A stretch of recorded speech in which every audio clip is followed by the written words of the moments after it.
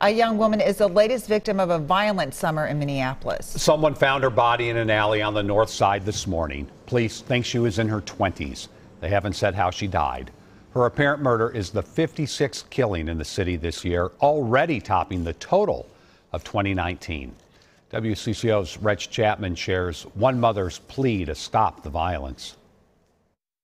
For the past five days, a family in North Minneapolis has been given word that a loved one was killed. The latest, a woman in her 20s. Her body was dumped in an alley in the 3600 block of Knox Avenue North sometime early Wednesday morning. Community need to come together. Lachey Hinton's oldest child, 31-year-old Prince Hinton, was gunned down while standing outside the Winners gas station near Lyndale and West Broadway Avenue Saturday evening. I don't care what he was doing.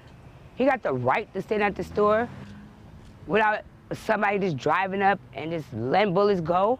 There's innocent people standing out there besides who you guys have these problems with.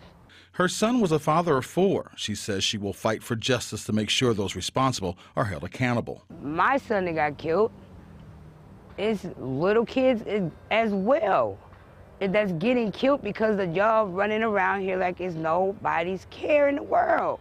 More than anything, she wants the shootings to stop. People know what's going on.